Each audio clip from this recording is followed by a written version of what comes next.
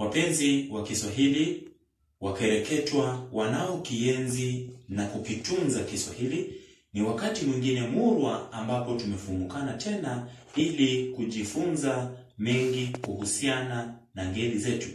Siku ya jana tulizungumzia au tuliangazia ngeli ya awa, ambapo tulisema ngeli hii ya awa ni kundi la nomino lenye majina ya viumbe vilivyo na uhai.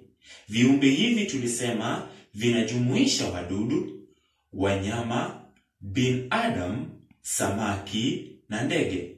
Viumbe hawa wote wanapatikana katika ngeli ya awa, ambapo tulisema kwamba kundi tenzi lao huwa na kiambishi awali a katika umoja na kiambishi awali wa katika wingi.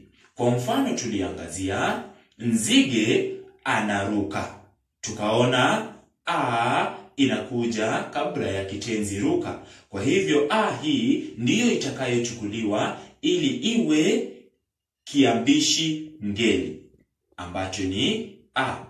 Kisha sentensi hii ikiwa katika wingi itakuwa ni nzige wanaruka, inachukua kiambishi ya wali wa katika wingi. Siku ya leo tunaenda kuangazia kwa undani zaidi kuhusu ngeli ya li ya.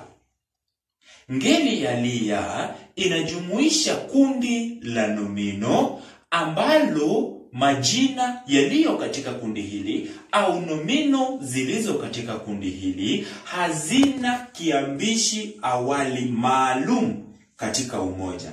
Ina maana kwamba viambishi awali vya majina haya yaliyo katika ngeli ya lia hubadilika badilika katika hali ya umoja, lakini majina haya yakichukua au yakibadilishwa katika wingi huchukua viambishi awali ma au me.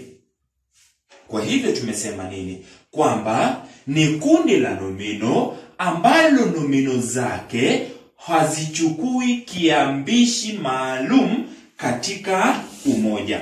Viambishi vyake hubadilika badilika katika hali ya umoja, lakini katika hali ya wingi huchukua viambishi awali ma au me.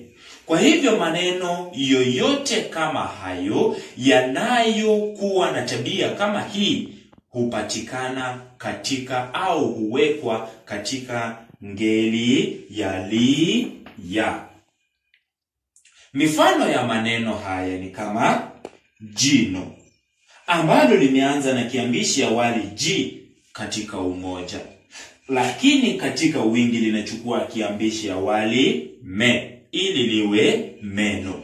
Kwa hivyo tumesema umoja jino, wingi meno, limechukua kiambishi awali me. Tawi limechukua kiambishi awali ta ambacho hakifanani na kiambishi awali cha kwanza ambacho kilikuwa ni ji, lakini katika hali ya wingi kinachukua kiambishi awali ma ambacho ni matawi. Kwa hivyo tawi linakuwa matawi, katika wingi linachukua kiambishi awali ma. Goti linachukua kiambishi awali go, lakini katika wingi linakuwa magoti, linachukua kiambishi awali ma. Kwa hivyo tumeona kwamba tawi na goti hayafanani, viambishi vyao vya awali havifanani. Tawi inaanza na ta, goti linaanza na go, lakini katika wingi yote yanachukua viambishi awali ma. Kuna mifano zaidi ambayo ni gauni au jani inakuwa majani, nachukua kiambishi awali ma. Gari, magari, nachukua kiambishi awali ma katika wingi. Swali, maswali, nachukua kiambishi awali ma katika wingi. Jani, majani, yanachukua kiambishi awali ma katika wingi. Jicho, macho yanachukua kiambishi awali ma katika wingi. Kwa hivyo majina haya yote ambayo katika hali ya umoja viambishi awali havijibainishi, lakini yakibadilishwa katika hali ya wingi yanachukua viambishi awali ma au me, yanapatikana katika ngeli ya li ya. Hiyo ni mbinu ya kwanza ya kubainisha au ya kutambua kundi lililo katika ngeli ya liya. Tumesema linachukua viambishi awali ma au me katika hali ya wingi, ila katika hali ya umoja viambishi hivi awali hubadilika badilika. Mbinu ya pili ya kubaini no kundi lililo katika ngeli ya liya ni majina yote au nomino zote zikibadilishwa katika hali ya ukubwa, iwe ni kiumbe kilicho na uhai au kisicho na uhai, bora viwe katika hali ya ukubwa, vyote vinapatikana katika ngeli ya li ya. Kwa mfano, jino lipo katika ngeli ya liya, lakini likibadilishwa liwe katika ukubwa litakuwa jijino, bado lipo katika ngeli ya liya. Kiroboto ni mnyama ambaye ana uhai, na tukasema yeyote ambaye ana uhai au chochote kilicho na uhai hupatikana katika ngeli ya a wa, ila kikibadilishwa katika hali ya ukubwa kitasazwa kuwa katika ngeli ya awa na kiwekwe katika ngeli ya li ya. Kwa mfano, kiroboto ni ngeli ya awa, lakini katika hali ya ukubwa itakuwa ni jiroboto. Kwa hivyo jiroboto halitakuwa katika ngeli ya awa, ila itakuwa katika ngeli ya li ya. Mfano wa nomino hizi zilizo katika hali ya ukubwa, tuna jibwa ambaye ni mbwa, lakini katika hali ya ukubwa, mbwa mkubwa. Kwa hivyo wingi atakuwa ni majibwa, yanachukua kiambishi awali ma. Buzi ni mbuzi, ana uhai, lakini ni au yupo katika hali ya ukubwa. Kwa hivyo kwa wingi itakuwa ni mabuzi, yanachukua kiambishi awali ma. Toto ni mtoto aliye mkubwa, katika wingi yatakuwa ni matoto.